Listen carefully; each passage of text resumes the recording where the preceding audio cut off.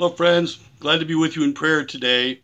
Today I'm going to offer a prayer for those who are sick. Let's pray together. Dear Heavenly Father, who is the healer of all, as we begin this day in prayer, we pause and with intentionality pray for those who are sick. We pray for healing and comfort. We pray for strength and the will to conquer all that we and others suffer from. We pray for healing for all, those who are suffering from illness of the body, mind, and spirit.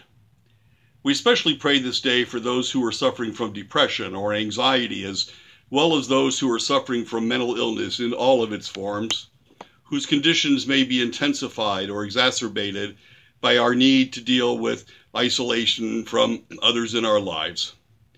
Hear our prayer, great healer. Heal all that can be healed. Give comfort to those in need and understanding to us all. Amen. Our reading is from the book of Psalms, from the 147th Psalm.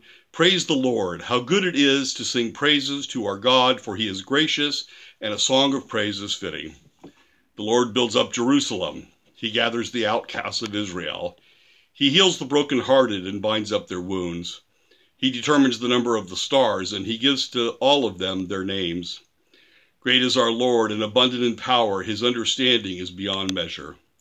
The Lord lifts up the downtrodden. He casts the wicked to the ground. Friends, this is the word of the Lord. Thanks be to God. Have a blessed day and pray for one another.